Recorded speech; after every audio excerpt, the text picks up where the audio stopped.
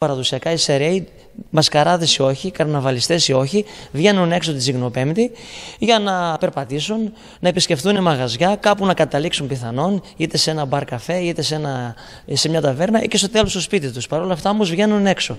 Εμείς λοιπόν ενισχύουμε αυτή την ατμόσφαιρα την αποκριάτικη, βάζοντας κεντρικά σε, με τη μέθοδο της αράχνης, ας πούμε, παντού στο, στο εμπορικό κέντρο ε, ηχητικό σύστημα και ένας ε, DJ κεντρικός που θα είναι στην πλατεία Ελευθερίας μεταδίδει ήχους της αποκριάς, ξένα, ελληνικά, λάτιν, ε, τραγούδια έτσι ώστε να ενισχύσει αυτή την ατμόσφαιρα γιατί σας είπα οι σεραίοι παραδοσιακά βγαίνουν έξω.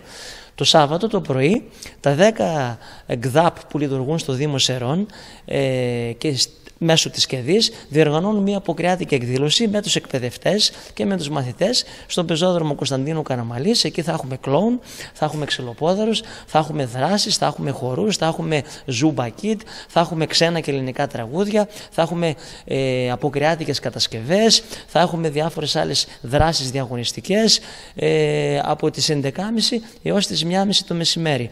Ανάμεσά μας θα περάσει και το Λύκειο των Ελληνίδων με τα γαϊτανάκια, δίνοντας έτσι έναν ιδιαίτερο χρόνο και χρώμα. Ε, αυτό θα γίνει μέχρι τις 1.30-2 παρά. Το απόγευμα μετά τις 7 συνεργαζόμαστε και πάλι ε, με το Λύκειο των Ελληνίδων ότι θα παρουσιάσει μια παράσταση, μια αποκριάτικη παράσταση που θα έχει σχέση με δρόμενα, λαϊκές συνήθειες και έθιμα αυτής της περίοδου, της λαϊκής μας παράδοσης της ελληνικής με βάση όμως την αποκριά.